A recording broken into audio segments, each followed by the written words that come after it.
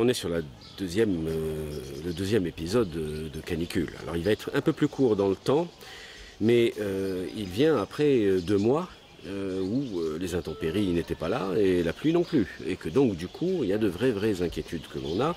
Alors, nous n'avons pas de nappe phréatique dans le département, mais tous les endroits où l'eau passe, il n'y en a plus. Donc c'est une vigilance, une attention particulière de tout le monde. Alors il y a tout ce qui concerne le sanitaire, c'est-à-dire euh, canicule égale grandes inquiétudes que l'on a pour nos plus anciens, pour les personnes fragiles. Donc ça, c'est en lien avec les municipalités, le département, les hôpitaux, l'ARS. Et il y a de l'autre côté tout ce qui évite de trop consommer d'eau en ce moment. Et donc ça, c'est les arrêtés que nous prenons et nous montons d'un cran parce que, parce que ça va pas bien. Vous pensez que les particuliers vont respecter toutes les consignes?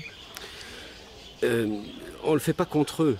Euh, s'ils veulent eux plus tard pouvoir euh, se remettre à niveau et réentretenir euh, leur propre jardin, il faut qu'ils aient leur propre attention. C'est pas c'est- quelque chose de citoyen.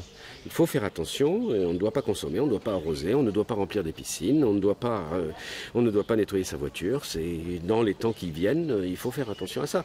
Vous- Rappelez-vous quand même l'année dernière, vous étiez venu m'interroger sur la calamité sécheresse que les agriculteurs euh, avaient pu, euh, ils avaient pu être reconnus et donc obtenir des indemnisations. Il faut qu'on ait une autre relation à l'eau. C'est la plus belle de nos richesses et nous avons en ce moment des collègues euh, qui viennent d'Afrique subsaharienne. Ces questions d'eau, c'est leur, euh, préoccupation aussi. Donc oui, oui, oui.